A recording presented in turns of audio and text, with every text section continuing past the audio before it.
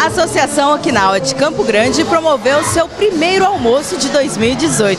Confira agora na matéria. Dozo!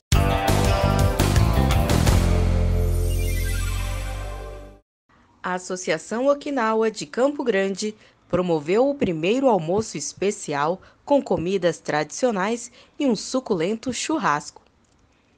A reportagem do TV entrevistou os dirigentes do clube e convidados especiais.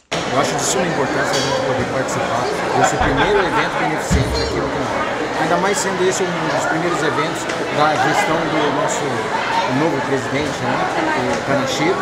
Então acho de suma importância as associações prestigiarem esse grande evento e esperamos aqui que o novo presidente ele tenha um, um, sucesso na sua gestão e que a gente é, sempre aguarda a união entre as associações.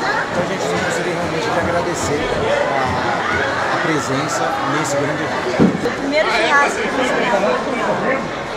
é, é muito bom ver no início do ano os amigos, que nos prestigiar aqui, almoçando aqui conosco e é muito importante para a nossa associação angariar fundos para manter a nossa associação.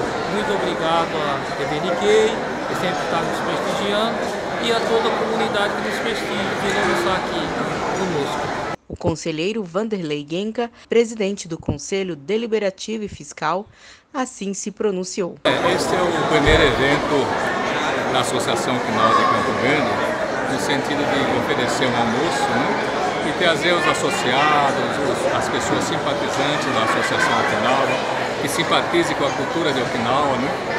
e fazer encontro de amigos, né? de amigos, parentes. Né? Na verdade, esse é um momento de confraternização aqui da Associação Okinawa de Portugal. O presidente Eduardo Kanashiro fez os agradecimentos a todos que compareceram ao evento.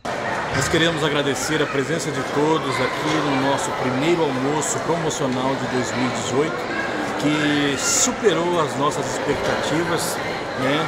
E a gente sempre bate naquela tecla que além da, das pessoas vierem, vierem aqui para ajudar o clube, né?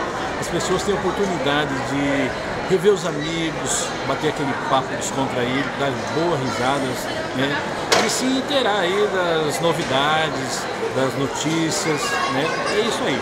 Muito obrigado. Venha saborear o almoço no Restaurante do Cido, localizado na Avenida Salgado Filho, próximo à Avenida Bandeirantes. Cido e Companhia está à disposição de sua clientela com os variados pratos quentes e frios com tempero da cozinha caseira.